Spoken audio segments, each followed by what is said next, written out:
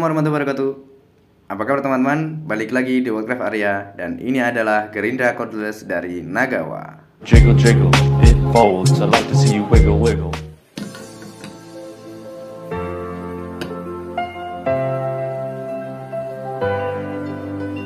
In the dark of night, the stars light up the sky.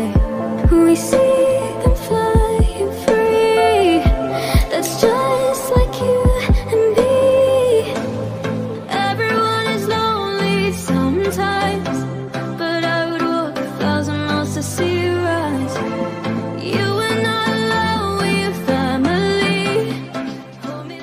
Untuk produk yang saya beli ini adalah unit only Jadi kita hanya mendapatkan unitnya saja Tanpa dilengkapi baterai dan juga charger dari Nagawa.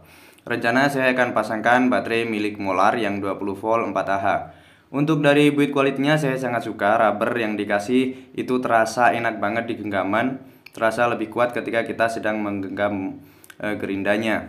Juga dari magnesium core di bagian kepala gerindanya ini juga cukup rapi walaupun ada satu dua bagian yang masih belepotan tapi itu masih sangat wajar mengingat harganya yang hanya 200 ribuan. Warnanya yang kuning ditambah sentuhan hitam dan juga tulisan brushless motor memberikan kesan mewah pada gerinda ini saya sangat suka banget untuk tampilan luarnya. Tapi kita akan segera pasangkan baterai dan kita coba mesinnya apakah sesuai dengan tampilan luarnya.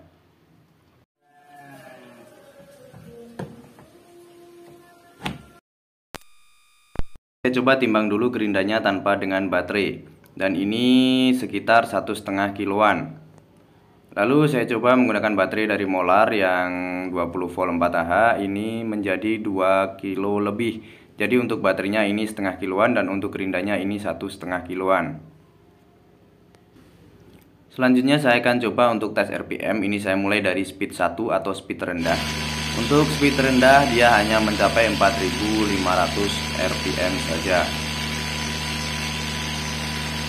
Lalu saya coba untuk speed kedua. Untuk speed kedua di sini tidak jauh berbeda.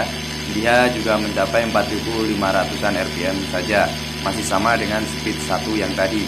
Lalu saya coba ke speed ketiga. Untuk speed ketiga di sini agak terasa lebih kenceng dikit dan benar saja ini dia nyampe di 5800 tapi ini masih sangat kecil sekali. Lalu saya coba untuk speed terakhir atau speed 4, speed paling kencang dari gerinda ini.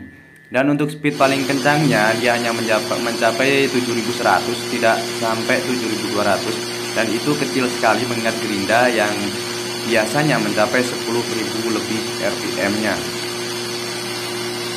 Lanjut di sini saya coba untuk memotong hulu baja ringan. Di sini saya menggunakan speed 1 atau 4500 rpm tadi. Dan ini terasa enak ya untuk speed 1 memotong hulu baja ringan ini cukup enak karena hulu baja ringan memang sangat tipis dan dia juga tidak cukup keras. Mengingat untuk hulu baja ringan ini bisa dipotong hanya menggunakan gunting tanpa perlu menggunakan gerinda. Selanjutnya saya gunakan speed yang paling tinggi atau 7100 tadi untuk memotong ini adalah hulu galvanis. Hulu galvanis ini 1,2 kalau tidak salah. Tidak terlalu tebal.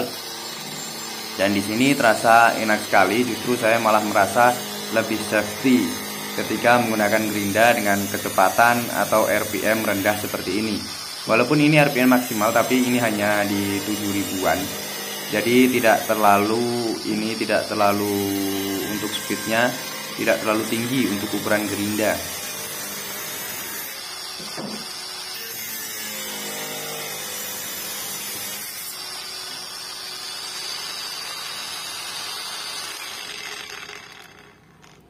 Untuk tes terakhir di sini saya gunakan untuk memotong hulu besi. Ini adalah hulu besi hitam. Ini 1,6 kalau enggak 1,8 saya lupa. Tapi ini cukup tebal, lebih tebal dari hulu galvanis yang tadi.